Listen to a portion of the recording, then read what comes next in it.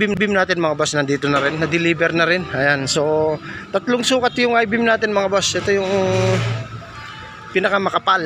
Ayan. Ito siya mga boss. So yung isa nito mga boss is ah, nasa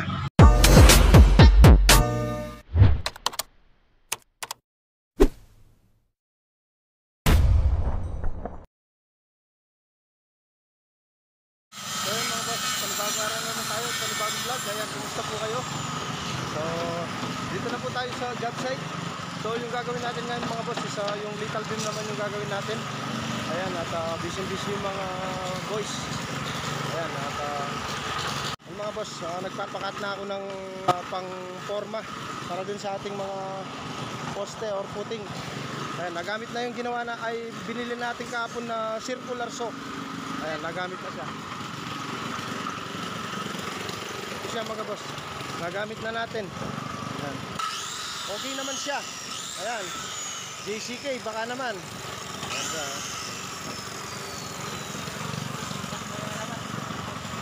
Ayan, si Kuya Roy yung taga-tabas natin dito.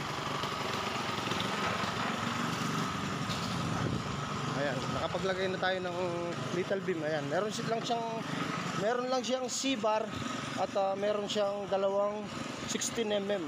Ayan, so yung dowels natin yan mga boss is ah, 70 yung gap. Ay 60, 60, tig 30 pala tong ano, yung ating C-bar. Ayan.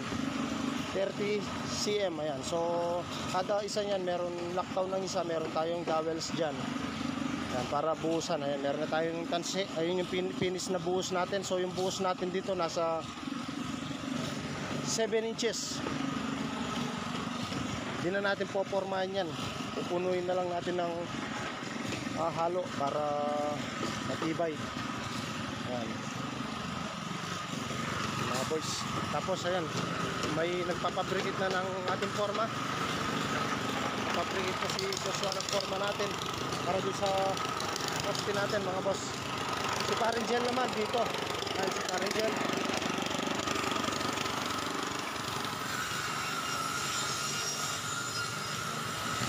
At pagkatapos, ayan si Ryan, siya yung nakasign dito. Ayan, inaalis niya yung wall dito mga boss para asintahin na lang natin ng ibang asinta. So kailangan natin alisin yan hanggang dito muna sa parilya para mailagay na rin yung isang poste natin dito.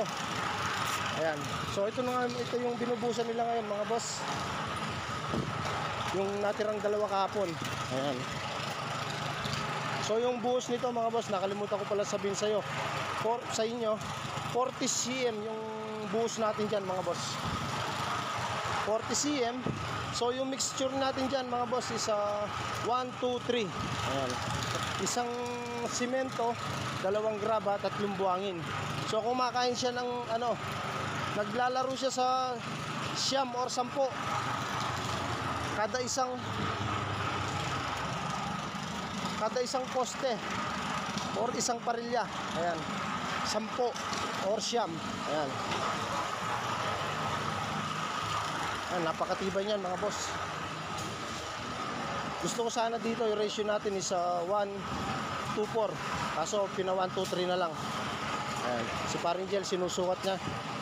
Siya yung nag uh, kapabricate naman siya para dun sa little beam. At si Kuya Sani ang tagalagay. Tapos lalagyan ng tansi para alam nung nagbubuhos kung hanggang saan yung buhos nila. Ayan. Ayan si Paring. Ayan, si Kuya Sani yung nakasign dun sa little beam natin. At meron na rin tansiyan, meron na tayong label. So sumusukat na lang siya sa label natin. Ayan. So siguro ako mga mamaya-maya mga boss pupunta ako sa Sindalan. Gawa nga po nung ginawa natin doon, meron daw konting leak. Ayan, di naman natin maiwasan yan. So sasaglitin ko mamaya, iwan ko muna sila dito. At ah, sasabihin ko muna yung mga kailangan nilang gawin dito bago natin sila iwan. So okay naman yung mga boys. Kahit iwan natin yan, magtatrabaho naman yan. Yan.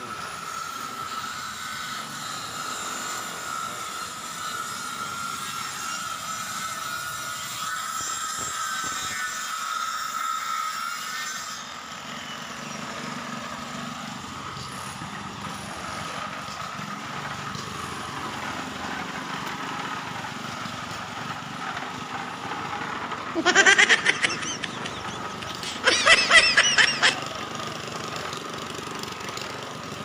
Joshua.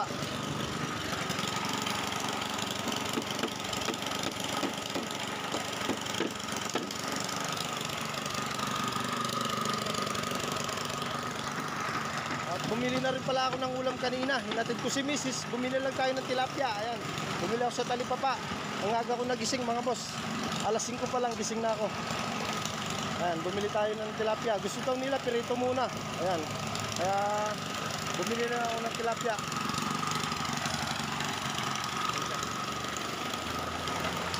Ayun yung dowels natin, linalagay na ni Kusani. Ayan. So yung gap ng dowels natin, ayan, 60. Ayan. Napakatibay niyan mga boss. Ayan.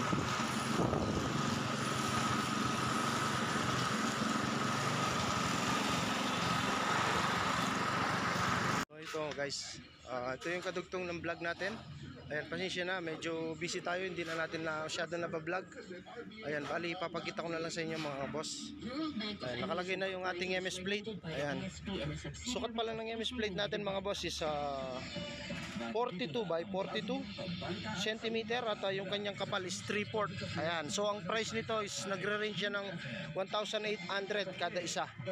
Ayan, at nakapag-sage bin na rin tayo. Ayan, seeds belaying na tayo. So, yung ilalagay natin dito mga boss is ah, high beam siya. So, hintayin pa natin yung crane or ah, i- i-check muna itong site kung pwede yung crane dito. Baka hintayin pa natin, baka bukas siguro mga boss. Ayan. Ayan, meron na rin lahat ng mga MS plate yan. Ayan. At ah, nakapag-asinta na tayo ng anim na patong pati doon agad sa baba mga boss ayan Ah, si RJ ang nag-asinta dito mga boss at saka si paring gel ayan. Ayan oh. Ayan meron na rin tayo dito. Ayan. So yun dito, ayun mga boss pinapabuhos ko na yun doon. Tsaka yun doon. At yung mga high beam natin mga boss nandito na rin. Na-deliver na rin. Ayan so tatlong sukat yung high beam natin mga boss. Ito yung pinakamakapal. Ayan. Ito siya mga boss. So, yung isa nito mga boss is ah, nasa 18,000 yung isa nito. To. So, 12 inches siya. 12 by ayan. Media. Media na yung kapal nito. Tapos, syempre meron siyang ano dito, 6 inches naman yung dito niya. Ayan. So, nagre-range siya ng kada isa nito is nasa 18,000. Ayan. Tapos yung yung isa naman mga boss, ayan, 3 inches naman ito. At syempre 12 inches din 'yun. Ganun din yung kapal niya mga boss. Ayan. So yung dito naman mga boss is ah, price naman ito is nasa 11,000 pataas. 11.5 something. Ayan. Tapos yung dito naman mga boss ayan. Ito naman is ah, nasa 8 inches by 4 inches naman to. So ito nag-range siya ng nasa 8,000. Ayan. So total ng ating mga I-beam isa nasa 153,000. Ayan, lahat po yan. Bali, ano po yan, ah, 14 pieces. Kaso iba-iba lang yung sukat. Ayan. Medyo sana ma-approve yung ating site para di tayo mahirapan sa paglalagay ng mga I-beam, sa pagtatayo ng mga I-beam.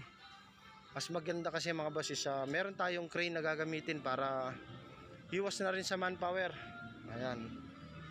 So, yung ginagawa natin ngayon mga boss is ah, nasa 9 days pa lang tayo. Ay 10 days, ayan, 10 days pala, sorry mga boss. 6, 3, o oh, tsaka ngayon, nasa 10 days pa lang tayo. Ayan. Dahil kulang pa tayo ng tambak dito. Ayan, pinaubos, pinaubos ko muna yung graba para sana darating na rin yung ating tambak dito. Ayun yung tambak natin mga boss, yung pinakataas nung MS plate natin. Tapos magtataas tayo ng flooring dyan, nasa 4 inches. Matatakpan na sa flooring yan, yung ating MS plate. Tatakpan na sa flooring yan. Ayan.